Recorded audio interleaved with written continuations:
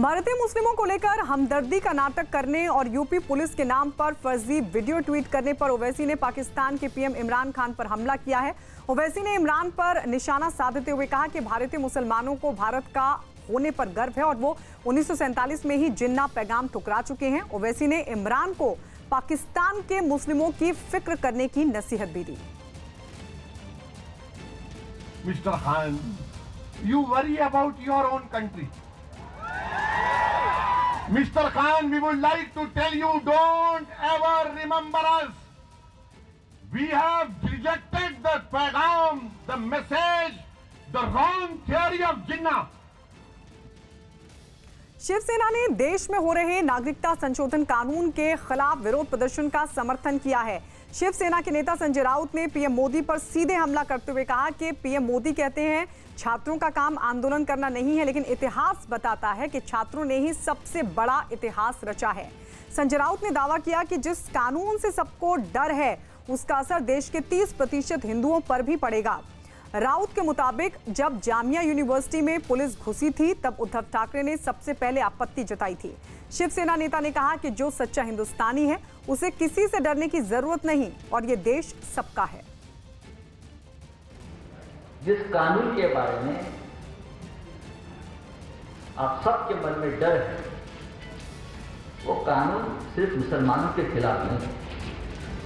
Thirty percent Hindu भी thirty percent Hindu इस देश, चाहे असम हो, चाहे वेस्ट बंगाल हो, चाहे उड़ीसा हो, चाहे महाराष्ट्र हो थर्टी परसेंट हिंदू भी उसके नीचे आने वाले हैं और इस सब के लिए खतरे की घंटा बजेगी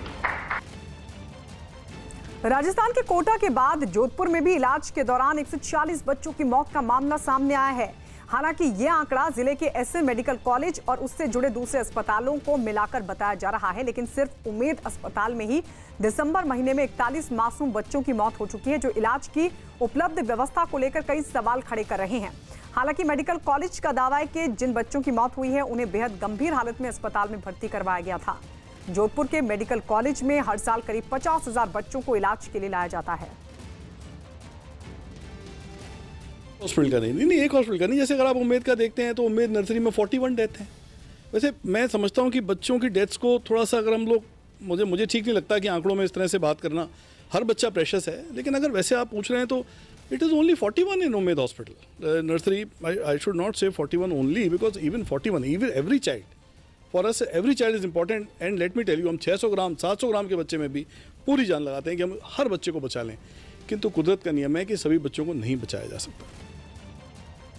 कंडीशन में आते हैं कि हम अपने प्रयासों से कई कई बार मरीजों को तो हम बचा लेते हैं, पर बच्चे हम लोग खो देते हैं क्योंकि हर महीने करीब 40 42 ये आंकड़ा ही रहता है। कभी कम भी हो जाते हैं 33 37 depending upon number of deliveries तो थोड़ा सा आंकड़ा, पर रहता है, करीब करीब इतना ही। राजस्थान के कोटा के बाद अब बीकानेर में अस्पताल में बच्चों की मौत की खबर है। बीकानेर के पीबीएम अस्पताल में दिसंबर के महीने में एक सौ बासठ बच्चों की मौत हो चुकी है।